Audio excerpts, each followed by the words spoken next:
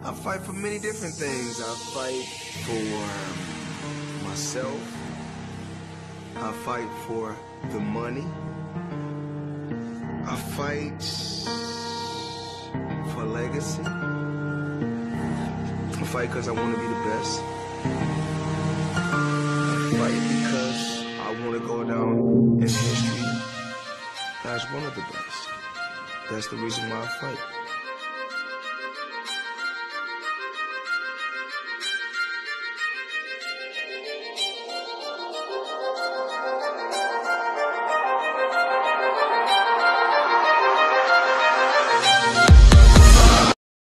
大家好，老师从业中医男科三十余年，帮助了数千名海内外华人朋友通过中药调理重回男性雄风。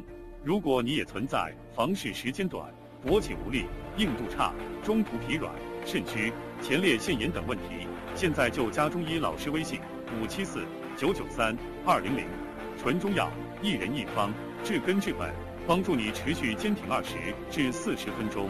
补肾壮阳，延时助勃，彻底告别快男软男。记住微信：五七四九九三二零九。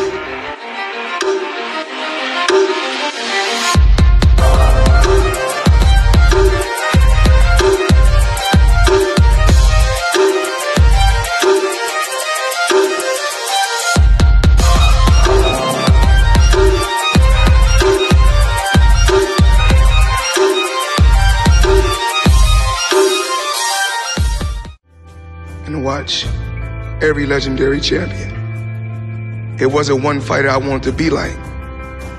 Some days I wanted to fight like Leonard. Another day I want to fight like Hagler. But then I want to be a killer like Mike Tyson. I said I'm going to take a little bit from every one of them and put it all in one box and shake it up and see what we come up with. And when I say TBE, it's no disrespect to no legendary champion. Every fighter that's in this room has to feel that he's the best. If not, you in the wrong sport.